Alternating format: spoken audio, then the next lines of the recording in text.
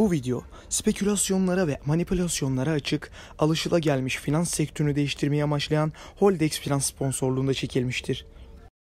Arkadaşlar merhabalar. Hepiniz Kripto Tayfun kanalına hoş geldiniz.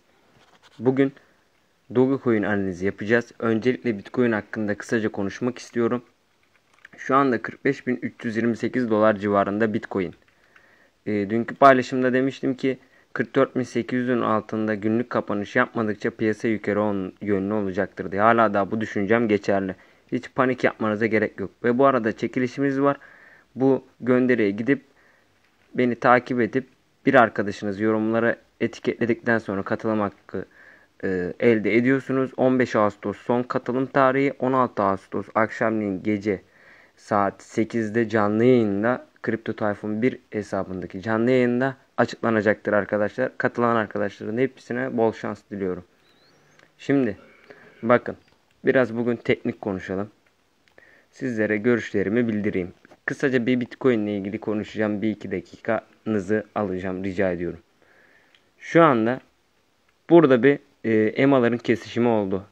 50 saatlik hareketli üstel ortalama üste kırdı arkadaşlar. Bakın buradaki alanı gördünüz değil mi? Ondan sonra buraya geldiğinde bir kar satışı yedi Bitcoin. Bir panik havasıyla. Tabi bakın mesela buradakilerin buraya kadarları kar satışı yaptı diyelim. Bu geri kalanların hepsi bu panik yatırımcı bakın. Bu düşüşe sebep olanların hepsi panik yatırımcı. Sonra ne oldu? 100 saatli hareketli ortalamanın üstünde durdu.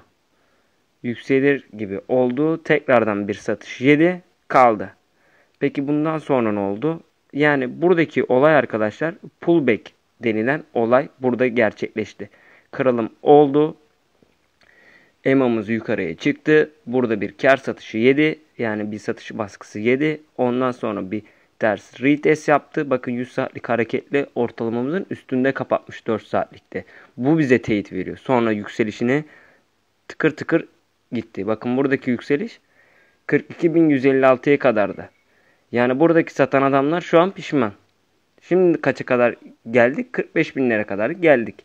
Ee, ben hala da e, yukarı yönlü olacağını düşünüyorum. Bitcoin hakkında da düşüncelerim böyle. Haftalık kapanış 47 bin 220'nin üstünde olursa biz devam ederiz arkadaşlar. Bu kışta e, inşallah öyle olur. Yeni rekorlar gelir inşallah. Şimdi Dogecoin'e etkisi nasıl olacak? Şimdi bunu yapabilirsek. Hop tamam. Hemen Doge hakkında da konuşalım. Bu arada Doge e, gün içerisinde gecenin 2 lira 53 kuruşlara kadar yükseldi. Sizler de farkındasınızdır. Şu anda Dogecoin 2 lira 34 kuruş. Şuradan hemen destek direnç noktalarımızı çizelim.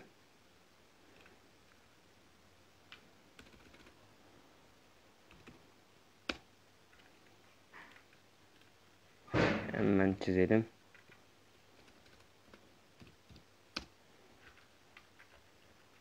Bakın arkadaşlar. E, Dogecoin ile de ilgili aynı şekilde saatlik ortalamada pullback görüntüsü var. Onu da göstereceğim şimdi size.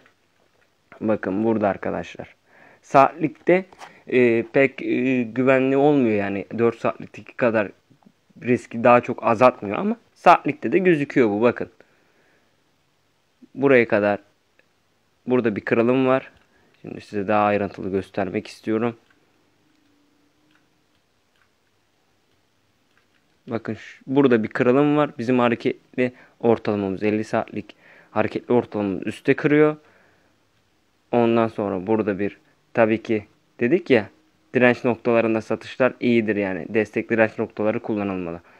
Burada kıramayacağını anlayıp bir kar alan arkadaşlar var. Bundan sonrakilerde yine panik yatırımcı. Bu sefer bakın 100 saatlik hareketli ortalamaya kadar gelmiyor. Tabii ki illa 100 saatlik hareketli ortalamaya kadar bir geri çekilme yapacağı e, kesin değil. Ondan sonra yükselişine 50 saatlik hareketli ortalamanın üstünde kalarak devam ettiriyor. Yani bu pullbackler arkadaşlar artık bize trendin döndüğü hakkında ipuçları vermekte. %100 kesinliği hiçbir zaman için yok. Hiçbir göstergenin yok. Mesela ben Fibonacci olsun vesaire olsun kullanmıyorum. Bu sadece benim işim EMA'larla ve piyasanın işlem hacimleri olsun, gelişmeler olsun, yani takipteyiz arkadaşlar. Yani günümüzün çoğu bizim kripto paraları takip etmekle geçiyor. O yüzden şimdi Diyeceklerim şunlar. 2.47'yi kırması lazım Dogecoin'in yükselişinin devam etmesini istiyorsak. Benim düşüncelerim ne? Yükselişin devam edeceği yönünde. Bitcoin eğer ters bir hareket yapmazsa tabi bakın şartı da söylüyorum. 44.800 doların altında günlük kapanış yapmazsa Bitcoin.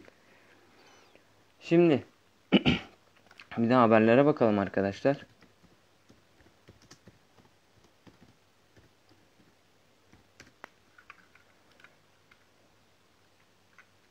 Bakalım bakalım haberlere de bakalım. Şimdi şöyle dursun.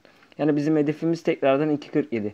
Bakın benim düşüncem 2.47 direncinde tutunamayacağını anlayıp yine bir kar alımı oldu. Yani bir ikinci bir pullback vakası olabilir. Bakalım eğer pullback vakası olursa şayet bakın şu görüntüyle bu aynı minimalize edilmiş. Tekrardan bir yükseliş sonra yani şöyle arkadaşlar. Buradan artık bakın bunu çiziyorum. Yarın hatırlatırsınız bana. Tutar tutmaz %100 garantisi yok. Düşüncelerimi söylüyorum sizlere. Yatırım tavsiyesi değil tabi. Sarı ile çizdim. Zaten bu video kalacak YouTube'da her zamanki gibi. Silinmeyecek. Bakalım. Buradan sekecek gibi düşünüyorum.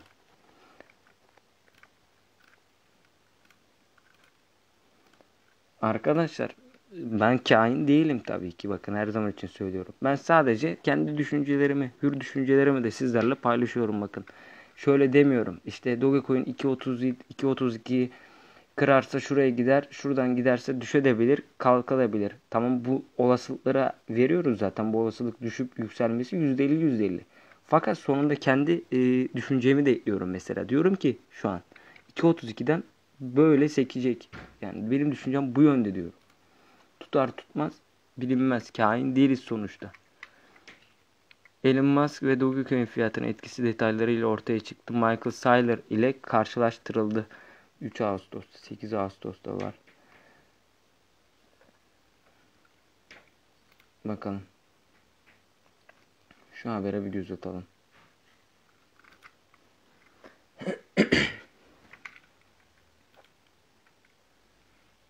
Bu arada takip etmeyi unutmayın arkadaşlar. Instagram hesabımızı orada bilgilendiriyoruz. Fiyat tahmini. Doge, pump ve dump döngüsü sayesinde 2021'in sonunda yükselebilir. Neşe Yavuz'un haberi. Neşe Yavuz'a buradan teşekkürler bu haberi bizlere sunduğu için. Bu yıl kripto paralar arasında ilk ona giren e, meme tabanlı kripto para birimi Dogecoin'in fiyatı bu hafta %25 yükseldi. Doge'nin fiyatı Mayıs ayında Elon Musk kaynaklı bir rallide 70 sentin üzerine çıktı. Geçen yılın aynı dönemine göre ciddi oranlarda arttı. Ancak sonraki aylarda düşüşe geçti. Dogecoin fiyatı bu hafta tırmanmaya başlamadan önce yaklaşık 20 sentte bir taban buldu. Dogecoin'in son yükselişinin öncesinde bir kripto para birimi uzmanları paneli pump ve dump döngüsü sayesinde meme coin'in 2021'in sonunda 42 sent değerinde olabileceğini tahmin etti. Bu mevcut seviyesinden %60'lık bir artışa tekabül ediyor. Kıdemli kripto para araştırmacısı Forrest şunları söyledi. Doge'nin hızla büyüyen kripto para piyasasının geri kalanıyla birlikte büyümesini beklerdim. Ancak muhtemelen uzun dönemli sabit fiyat hareketleri ve ardından geçmişte gördüğümüz gibi şiddetli spekülatif yükselişler olacak. Bir web sitesi üzerinden %80'i Doge'yi bir balon olarak nitelendiren 42 kripto para uzmanıyla önümüzdeki yıllarda Dogecoin'in fiyatının ne olacağını bekledikleri hakkında anket yaptı. Doge'nin balon olduğunu söyleyenlerin çoğu %55'i fiyatının bu yıl çökeceğini düşünürken %42'si Dogecoin'in balonunun 2022'de ve %3'ü 2023'te patlayacağını düşünüyor. Forbes'te yer alan habere göre Dogecoin'in fiyatının 2021'in sonunda 42 sent olarak öngören anket ortalaması Doge'nin 2025'e kadar 1.21 dolara ve 2030'a kadar 3.60 dolara ulaşacağını söylüyor. Ancak bazı uzmanlar meme tabanlı kripto para birimlerinin yakında sıfıra düşeceğinden eminken bir kısmı da token başına 10 dolardan bahsediyor. Canberra Üniversitesi'nde kıdemli öğretim görevlisi John Hopkins, Dogecoin'in 2021'in sonunda 15 cent, 15 cent değerinde olacağını ve 2030'a kadar tamamen değersiz olacağını tahmin etti. Dogecoin'in büyük ölçüde Bu video spekülasyonlara ve manipülasyonlara açık, alışılagelmiş finans sektörünü değiştirmeyi amaçlayan Holdex Finans sponsorluğunda çekilmiştir.